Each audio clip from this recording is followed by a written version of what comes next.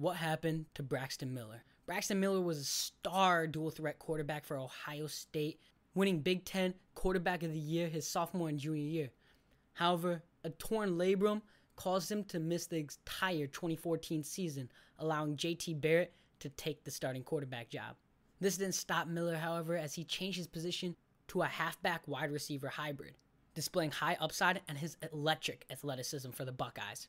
With all this untapped potential, the Houston Texans took him in the third round of the 2016 draft, where injuries took a toll on him and he inevitably retired early.